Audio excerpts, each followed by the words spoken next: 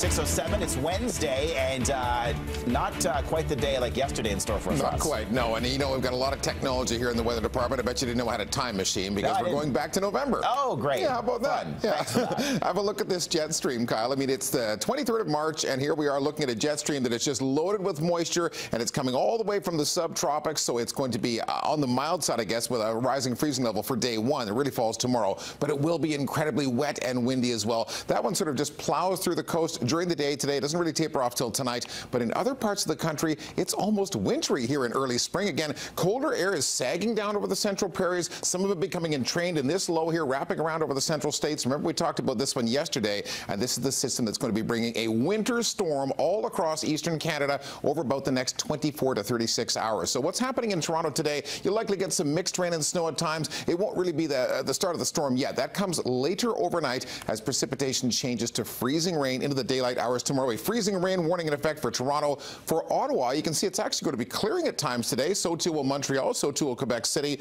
But that's sort of the calm before the storm because it's expected to start snowing tonight, snowing heavier tomorrow, more than 10 centimeters in our nation's capital throughout the day tomorrow, 10 to 15 centimeters into Montreal. And it's a mix of snow, snow pellets, freezing rain into Quebec City during the day tomorrow. Look at the maritime provinces and actually out to Atlantic Canada. Heavy snow right now in St. John's, Newfoundland, some snow squalls. It's been snowing in Halifax, snowing across parts of PEI. That tapers off temporarily and then it returns again during the day tomorrow in the form of rain for Halifax. But again, heavier snow likely in the mix over parts of New Brunswick and over PEI during the day tomorrow. So you're sort of getting it from both sides over the next day and a half. Our Central Prairie forecast definitely improving. The colder air sags into place, plus one in Winnipeg with some sun, two degrees in Regina, up near 10 for a high today in Calgary, but remaining on the cool side in Edmonton. And here on the coast, well, we'll say 11 degrees, but it's for all the wrong reasons. Windy and wet today, a big frontal system draped over the coastline. It's pretty much a full day's worth of rain. Tomorrow, part showers, part sunny breaks, but it's cool and windy.